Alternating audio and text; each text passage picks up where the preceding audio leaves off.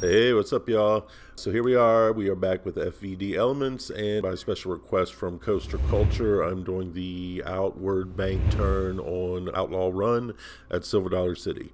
Ho Chi the cat is here with me, and he's making a bunch of noise, so if you hear meowing in the background, that's what it is. I'm assuming that this is the turn that you were talking about, the first Coaster Culture, the first turn uh, after the uh, first drop.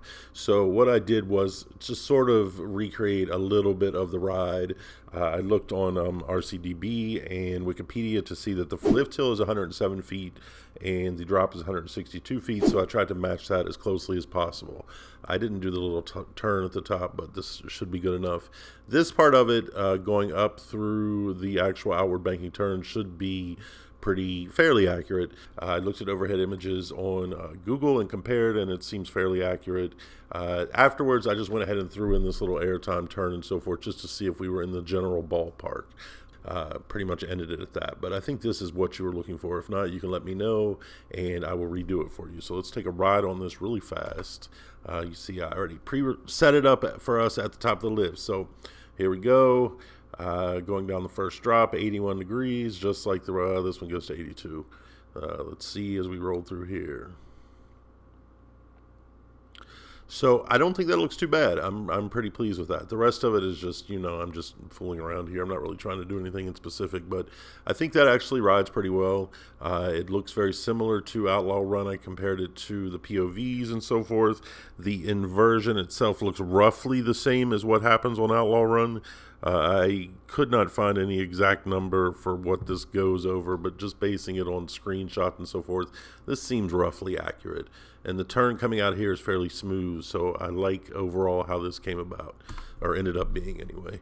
So you see the graph is not too difficult. One thing I wanted to stress, um, is a good thing for you all to do when you're working with FVD is to try to just get the rough basics down. If we go back to the beginning of the project, you'll see in 1.0, this doesn't look anything nearly as refined as what we ended up coming up with. And if we look at the graph uh, of 1.0, let's open that one up. Where's it at? Let's see it. Let's see it. Go to edit. If we look at the actual graph here, you see that I just did it very simply using uh, Cubic two cubic functions, and one quartic. And I was just kind of fooling around trying to get the overall shape and so forth. It doesn't ride nearly as smooth. The ending is a little bit odd coming out of it. And when you use a quartic like that, you don't have nearly as much control as if you use individual graphs of, say, two cubics or something like that. So what I did was start fooling around because I saw this sort of dip down and back up. I started fooling around with uh, quintic uh, double bump functions. And that kind of gave me the look that I was going for. So then I did a final version where I used uh, two uh, cubic, uh, another cubic, and another cubic, and then I did a quartic right here just to sort of get what I was going for. So let me turn off 1.0. Hold on just a second here. We'll go back to 1.3, which is going to be the final. And as always, this file will be available for download in the link below. And you can take a look at it and let me know. One thing I did do, which I have do not do too often, but I think I'm going to start doing this more as I build, is use a plateau function right here for this airtime hill that twists. Now, obviously, this is not exactly like Outlaw Run. I wasn't really going for that. Uh, but I do think the plateau worked well in this situation. And I did adjust the tension just a bit to add a little bit more lead in and lead out time. So overall, I think this is what you were looking for. I think this works fairly well.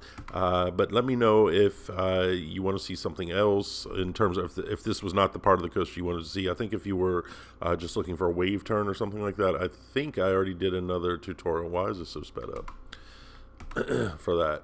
But anyway, I think this should, I don't know what's going on here, y'all. It's just speeding up real fast, but oh well.